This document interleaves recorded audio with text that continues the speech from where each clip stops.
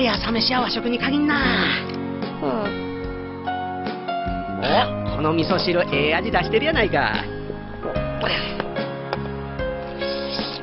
だしは昆布と鰹節やな。うん。今朝は時間があったからちゃんと出しとったんだ。ええ心がけや。俺のおかんなんかな魚のアラや貝で出しとることもあんねんで。だしはじっくりとって甘めの味噌でさっと風味つけてな。味噌は少なめなんが関西風や。うんてか、なんでお前がここに？んあ、いや、なんで平次兄ちゃんここにいるの？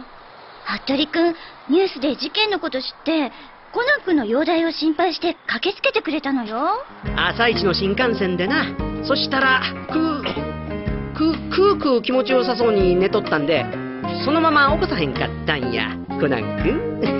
たくゆうべは陽子ちゃんのドラマに遅れるし今朝はベラベラベラベラと耳障りな関西弁聞かされるしでかなわね。え なあそや。忘れんうちに。ほい。あ？土産や土産。もらっとこう思ってな。そんなもんね。え。か、買ってないけど。ごめん。服部くんとカズラちゃんのこと忘れてた。もうしゃあないな。土産の代わりに後でたっぷり手柄話聞かせてもらおうかこの卵焼き甘いな。関西ではだし巻き言うてな。砂糖入れんとだし汁とみりんでそういやあいつら。小林先生に土産渡したのか。な新潟、東京、お土産カプリチオ。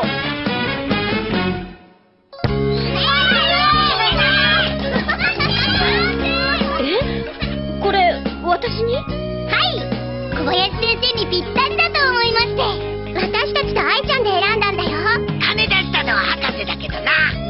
りがとう開けてもいいもちろんですわあかわいいありがとうゆきんこねこれえちょちょっと貸してくださいあこれってその子お姉さんが買ったお人形じゃないそういえばねえランこれなんかどうかなどうって誠さんへのお土産よああいいんじゃない？可愛くて。ちょっとその子に似てるし。そうそれがどうしてここにあるんだよ。わかりません。ああの、君たち？あこれがここにあるということは。は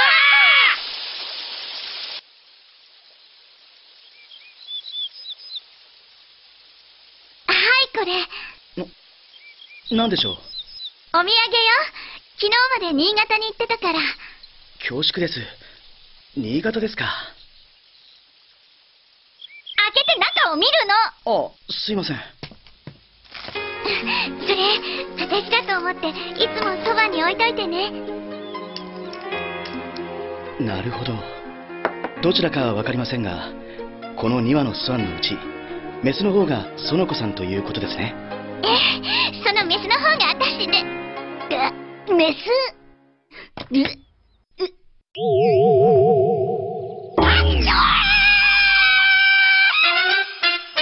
あの、何か手違いでも？なるほどな。同じロッジの包み紙に同じ大きさの箱。重さもほとんど同じや、まあ、これやったら姉ちゃんと坊主たちが気ぃつかへんかったんも無理ないな。でもどうして2つの箱が入れ替わっちゃったのかしら？問題はそれや。ああどうも。問題はいつどこでどないして2つの箱が入れ替わったんか。これは言うてみればあちあごめん熱かった？これはミステリーですね。え？水入れるの？ミステリーやミステリー。あそっか。ミステリーって大げさな。いや、そうとも言えへんぞ。一見小さい謎に見えることが途方もなくでっかい謎につながることはままあるんや。まあ、コナン君はまだ小さいから、その辺ようわからへんやろうけどな。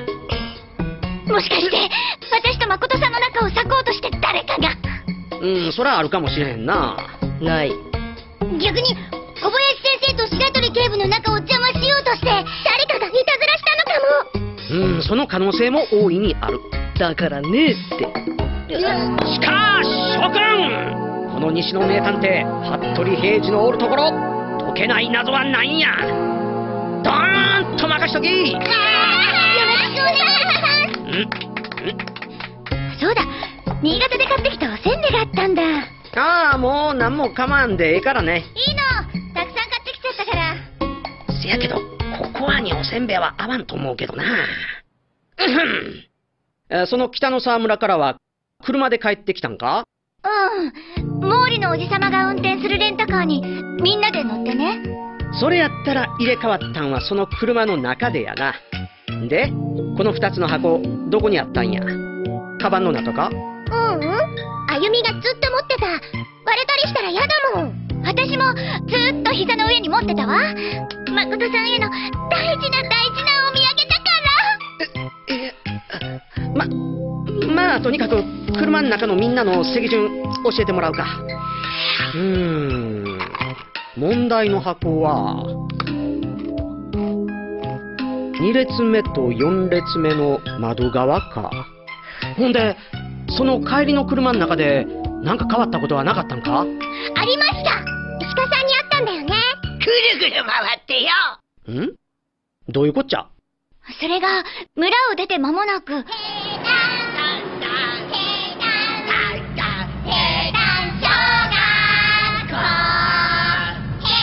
なんとかなんねえのかこの歌確かに。うん。ええ待っててよこちゃん。今大急ぎで帰るからね。あんまり急いで事故んないでよ。うるへんなの分かってない。おじさん前え？シコー。それえ？真相はこうや。急ブレーキで車がスピンを始めたその時。みんなバカな。あ？ま、あ新喜劇あるまいし、それはないな。他に変わったことはなかったんか？あとは高速に乗ってまっすぐ東京へ向かったのよねそれやったら、事件は高速の上で起こったんやな。事件って。みんな、高速に乗ってからのことを詳しゅう思い出してみてや。どこにも寄らんとノンストップで走ってきたわけやないやろ？そういえば高速に乗ってすぐに玄太くんがトイレに行きたいって。そうそう。それでパーキングエリアに寄ったんだよ。漏れる漏れる。もう出てる。ねえ外の空気吸いに行かない？そうだね。それじゃわしも。え愛くんはいかんのかね？私はいいわ一人で大丈夫なのか？平気よ。一人は慣れてるから。うん。じゃあ念のためロックしとくからな。それや！えー、それって？みんなが車から出た隙に、あの小さい姉ちゃんが箱をすり替えたんや。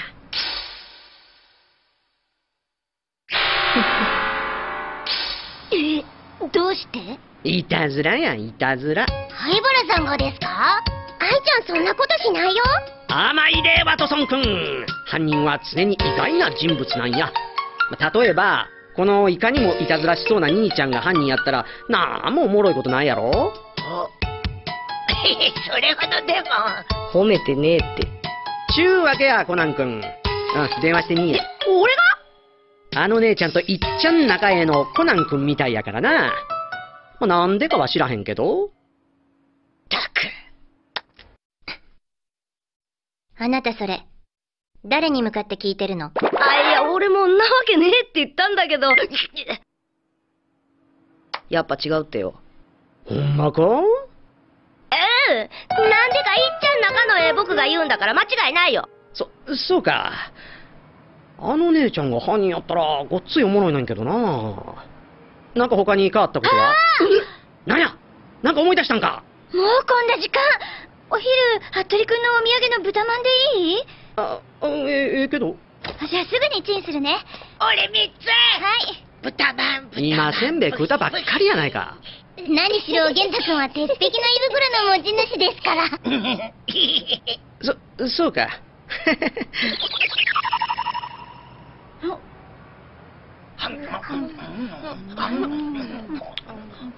ん？晩飯？晩ご飯はまだ早いよ。今お昼食べてるのに。えちゃうちゃうその日の晩飯はどうしたんやっちゅう話やサービスエリアで食うたんやろ？うん。その時箱は？うーん、持って出ようかとも思ったんだけど。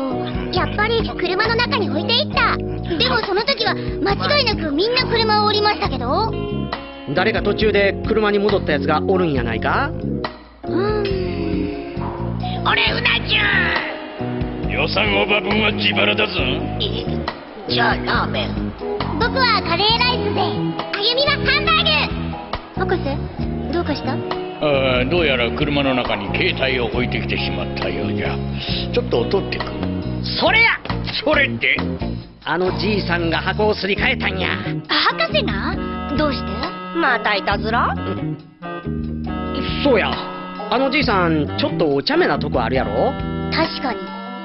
灰原さんよりはずっと可能性がありますね。っていうか、博士あの時、極上ステーキ定食か。あダメよ。あえ？博士と私はサラダうどん。はあ。そうか。それでむしゃくしゃして。いたずらしたんですね。おいおい。そうです。私が箱をすり替えました やっぱ違うな。え、どうしてわかるの？それぐらいわかるさ。博士とはガキの頃からの付き合いで。ガキの頃から？あんた今いくつなのよ？あ、いや、えせやけどその二人が違うっちゅうことは誰かのいたずらっていう線はないんじゃない？晩飯の後はどこにも寄らへんかったんやなだと思う。私寝ちゃったから。僕も寝てしまいました。お腹いっぱいで気持ちよくなっちゃって。俺うな重食ってる夢見た？そらよかったなで姉ちゃんは？あ、私も寝ちゃった。僕は起きてたよ。心のおじさんが居眠り運転したら大変だから。であのおじいさんと小さい姉ちゃんも？うん。で、ベーカーインターを出たとこでみんなを起こしたんだ。その間は高速をひた走ってたっちゅうわけかちょっと渋滞にはまったけど。渋滞？うん。ベーカトンネルを抜けたあたりでね。あそこ、長い下り坂が続いた後、上り坂が続くから、しょっちゅう渋滞になるんだ。それやまたかよ。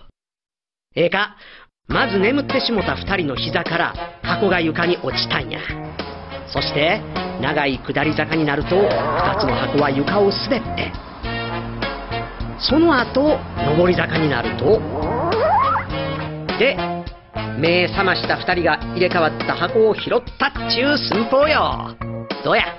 でも私、箱を拾ったりしてないよ。え？あゆみも、起きた時、ちゃんと膝の上にあったもん。なもん誰かが拾って置いといてくれたに決まってるやないかなあ？ううん。私そんなことしてない。僕も拾ったりしてません。俺ゾウに食う夢も見た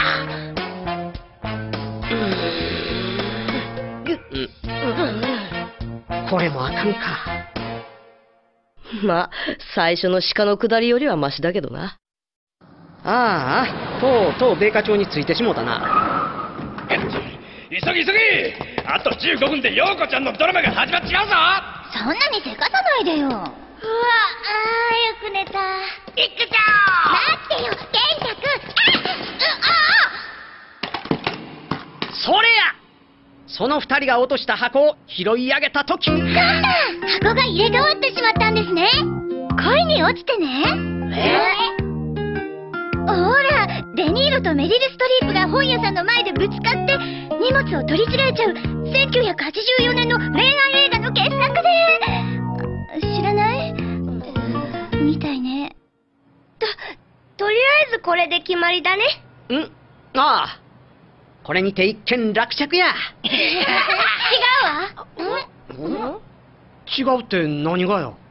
その時箱が入れ替わったなんてことない。だって私、自分の箱に印つけてたんだもん。ほら。ほんまや。キスマークがついてる。キスマークってなんだ？玄太くんは知らなくてもいいものです。もう一度確認するけど、今日姉ちゃんが持ってったのは、この紙で包んだ箱なんやな。うん。持ってく前に印を確認したから間違いない。ちゅうことは、お嬢ちゃんとぶつかった時、間違いなく自分の箱を拾ったっちゅうこっちゃな。だからそう言ってるじゃない。ねえ、その子姉ちゃん。この印いつつけたの？買ってすぐよ。ロ地を出て車に向かう前に。なんだ、そういうことか。なんでもっと早くそれを言わなかったの？え？箱が入れ替わってたわけが分かったよ。犯人は、はい、お電話変わりました。水田香奈です。あ、コナン君？昨日は大変だったね。お土産？ええ覚えてるわよ。あの日は私がお土産コーナーの担当だったから。じゃあ誰が何を買ったか覚えてる？確か、高校生の女の子二人が木彫りのフクロウと白鳥のマグカップ。それで、小学生の女の子が雪んこのお人形でしょ？やっぱり。え？ありがとう。さよなら。あね？これで分かったでしょ？二つの箱は、その子姉ちゃんとあゆみちゃんの手に渡った時点で、すでに入れ替わってたんだよ。なんで？やっぱりコナン君すごい西の名探偵も型なしですね。な あ、キスマークってなんだ？えー、それじゃあ改めて本当のお土産を小林先生に渡しに行こおおうう。じゃあ積み直してあげるね。私も誠さんともう一度会う約束をしなきゃ。あそうだ。新一君にはもうお土産渡したの？う。うん。うん。携帯に電話しても留守電だし。できた。はいどうぞ。ありがとうございますだから新一に言われたように後で新一の家に置いてこようと思ってほらそれも誰かのと入れ替わってたりしてえ？大丈夫だよ。さっきのお姉さん、木彫りの袋ってちゃんと言ってたから。だよねなんだ残念おめえ挽回のチャンス逃したね おめえ挽回してどないすんねん。じゃあなコナンまた明日バイバイああ。ガキどもの相手すんのも疲れるもんやな。やば。ん？なんや？ようこちゃん？ははあのおっさんみんなに内緒で、沖野陽子に土産買うてきたんやな。しょうもないおっさんやで。ん？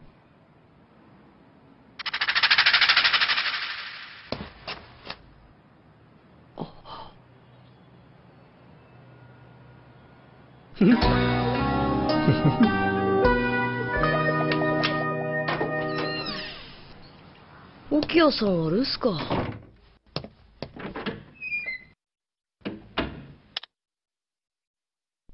ああ、あったあった。ちょっとだけ寄ってみたって言っとかねえと、しつこく電話してきてかなわねえからな。ん？あれ？木彫りの袋だったはずじゃ。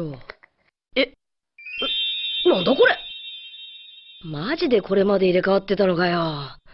でもあの時他にレジに並んでる人はいなかったはず。ん。まさか。これ私にだか？はい。白銀の世界から陽子ちゃんのためだけに選んできました。嬉しい。何かしら？喜んでいただいて何よりです。妖精のような陽子ちゃんのその素敵な耳につけてほしいと思いまして。これをですか？ええ。その素敵な耳につけていただければさぞかしそのフクロウも喜んでほうほう。おここうですか？おおおどうやくど俺の置き土産気に入ってもらえたやろか？たく、やっぱりおめえの仕業か。中身はなんだか分かってやったのか？あああのおっさんの考えることぐらいすぐにわかるやろ。あの箱のサイズからしておそらくアクセサリー。形からしてネックレスは可能性が低いし指輪は意味深すぎる。